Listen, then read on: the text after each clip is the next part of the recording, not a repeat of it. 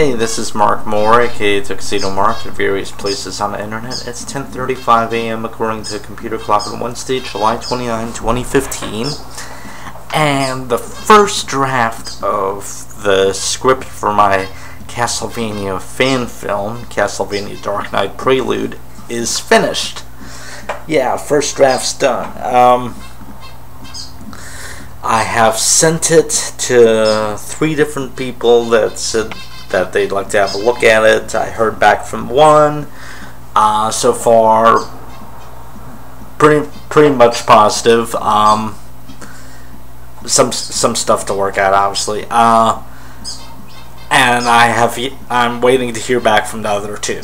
But yeah, first draft is done, and actually, I I had uh, I, I was near the end back in like December, but for whatever reason, I just I fell off and I was busy with other stuff. Uh, but I came back to it in June and again in July, and first draft's done. It's 66 pages long. Um, to give you an idea, the actual like novelization of the gameplay, um, like of the game itself, is 16 pages. So that leaves 50 pages for everything that happens before and after. Uh, because Sonia's story isn't just the game. It's, you know, I, I explored her childhood a bit and what it was like, you know, growing up and training and stuff like that. Uh, and then what happens to her after she gets back. Um, and tries to uh, have a normal life, such as it is. Um, so yeah, uh, th there are still things that I need to work out. I need to. Um, I still. I don't think Sonia uses all the sub weapons yet. Which I know she doesn't use them at all in the game, but I'm trying to have her use them in the movie because she she finds them, so she she should use them, right? I don't think I have her use every single one of them, so I gotta fix that. I gotta. Uh, I don't think she uses all of her soul powers either. Well, it's not her soul powers. She gets them from the defeated stage bosses, but I don't think I have her use that. Well, at least not all of them. Um, so gotta fix that. Um, she uses burning mode. Um, there's she doesn't take any hits. It's like she doesn't take any damage or anything. Because I was going through, I was basing it off a long play that I watched, and um, yeah. So I, I need to, I think I need to dirty up the fighting a bit and have her get hurt a bit. I mean, maybe some of that can happen like in the montages because I'm kind of vague about the montages.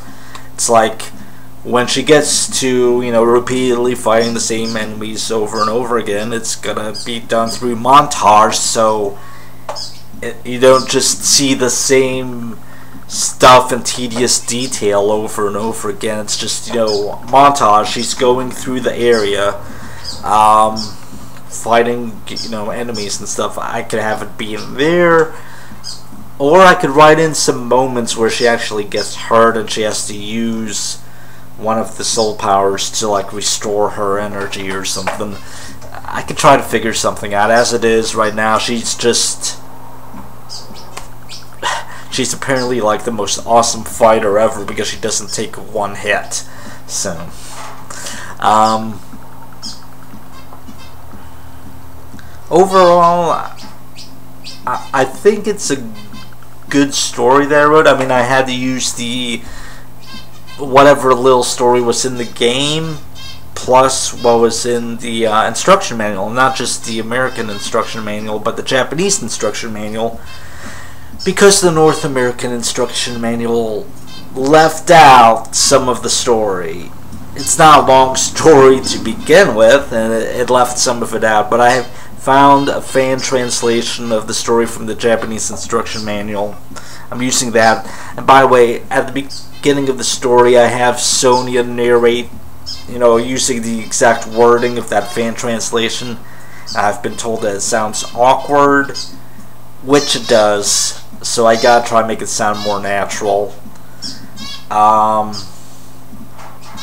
she uses terms like otherworld and demon king and stuff like that. It's yeah. Um, so uh, there's cleaning up to do, obviously, and I'd still like to get some more people to take a look at it. Whether Castlevania fans or non-fans, um, just to give their opinions, give some feedback on it. Um,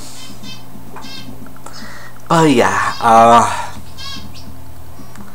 the actual like production of the of the movie itself is still a long way away.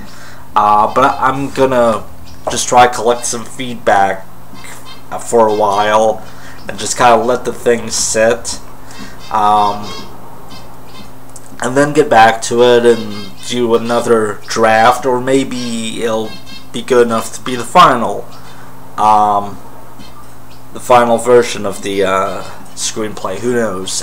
Uh, but there's gonna be at least one revision. So, uh, but that that'll come later. Um. So, if anyone's interested in taking a look at uh, my screenplay, uh, let me know and I'll PM you with the link to it. Uh, and that's it. It's uh, 10:42 a.m. and thanks for watching.